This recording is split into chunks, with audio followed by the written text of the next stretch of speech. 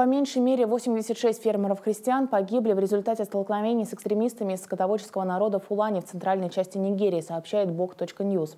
Согласно сообщению полиции, тела погибших были обнаружены 23 июня при осмотре деревень в регионе Барикин-Лади. По данным СМИ, шестеро получили травмы, сожжены 50 домов. Президент Нигерии Мухаммаду Бухари выразил соболезнования пострадавшим и призывал граждан к спокойствию.